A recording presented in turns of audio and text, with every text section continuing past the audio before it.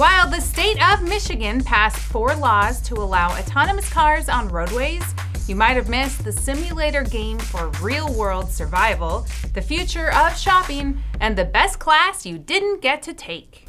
Welcome to In Case You Missed It, where a science class of daredevils passed around soap bubbles filled with propane, just as God intended. Been to Japan, you already know the joy that country brings. I mean, their conveyor belts wait for other luggage so it doesn't pile up like damn animals are running the place. Oh, see? And there we go. But in true can't stop, won't stop fashion, Panasonic and better than a 7 Eleven chain store, Lawson developed an automatic bagging system.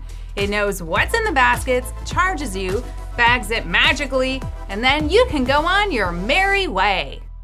Who says video games can't be educational? Dead Rising 4 single handedly taught me the life skills necessary to survive the upcoming zombie apocalypse.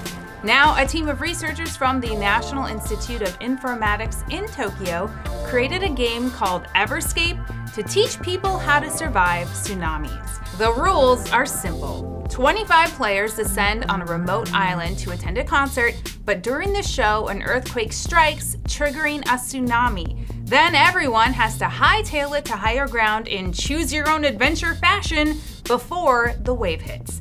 The game not only teaches players about what they should do in an emergency, but also shows researchers how people behave and think during a crisis. With this information, governments can build better emergency management systems to make sure everyone gets out alive. And finally, if you've got some spare time, maybe you could play Super Mario Brothers on the side of a building. Or play Dead Rising 4 and freak out your neighbors.